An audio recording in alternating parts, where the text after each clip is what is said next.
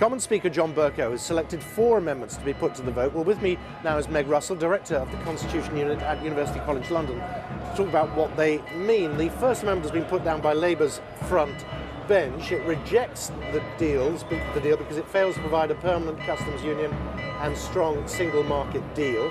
But it also rejects leaving with no deal and commits to pursuing every option for a different agreement.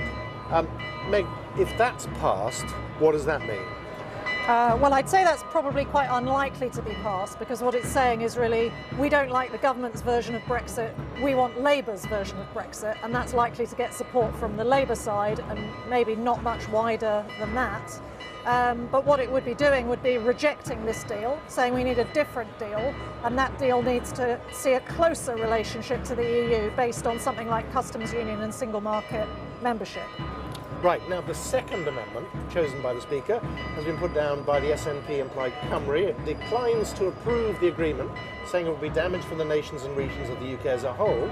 It also calls for the UK's departure from the EU to be delayed.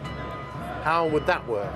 Well, also I think that's probably quite unlikely to find support because it's coming from the Scottish and Welsh parties. And again, it's quite a party political amendment, which is really expressing their opinions on this deal from a Scottish and Welsh perspective.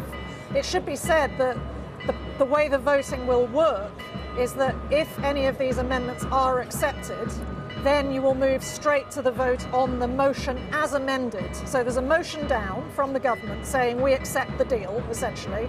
The first two amendments from Labour and the SNP are both saying we don't accept the deal in which case that would be incompatible. Um, we can't really go on much further.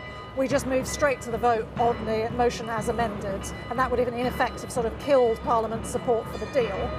Um, then we move on to some amendments which you're probably going to explain, which are a, a, bit more constructive, perhaps. Yeah, this is the third amendment chosen by John Bercow as the Conservative MP Sir Edward Leigh. Now, this amendment wants the Northern Ireland backstop to be temporary and to remain temporary. Now, this is at the heart of so much in terms of the disquiet here, isn't it?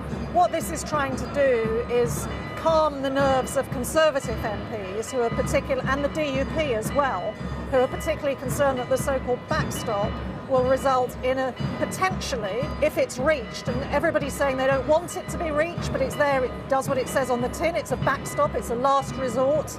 If that point is reached, then that would see um, Northern Ireland having a different and closer relationship with the EU than does the rest of the UK. And this is very offensive to people who believe that Northern Ireland is part of the UK and must be treated on an absolutely equal basis to the rest of the UK. So what this amendment is trying to do is calm the nerves of people who are worried about the backstop and enable MPs to support the deal while saying this is sort of um, it, it's contingent on us taking a certain view on the backstop and kind of rejecting the backstop or limiting its ability to control us. Right, let's just have a look at the, the last amendment uh, to be debated. That's John Baron's amendment. If approved, this would give the UK the right to end the backstop without the agreement of the EU. Now, how would that work? well, that's a much tougher amendment than the, than the Edward Leigh amendment. And as I said before, they will vote on these sequentially. If the Edward Leigh amendment were accepted, you would then go on to vote on the government's motion as amended. So you would be... So this would effectively be dropped? This would be, the, well, the Baron Amendment yeah. wouldn't be reached if the Leigh Amendment were agreed. Right. You would move straight to voting on the motion as amended by Edward Leigh. Um, so, in a way, I suppose the Baron Amendment is kind of a backstop, if I can use that terminology, to the Leigh Amendment. If the Leigh Amendment doesn't go far enough and doesn't get support, it's tougher. It says we will unilaterally be able to get out of the backstop.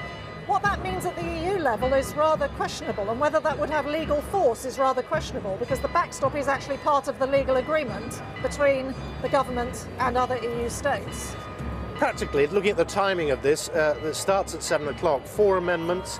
How, what time do you think we're looking at a vote tonight? Well, because MPs go through the division lobbies, votes take quite some time. They take sort of 20 minutes or so. It depends on how many people are voting. I would anticipate that virtually everybody will be voting here. These are some of the biggest, most important votes we've seen at Westminster for decades. So we seem to be talking about a vote on the the, the main motion, once all the amendments are dealt with, uh, about, about sort of 8 o'clock, 8.30 this evening.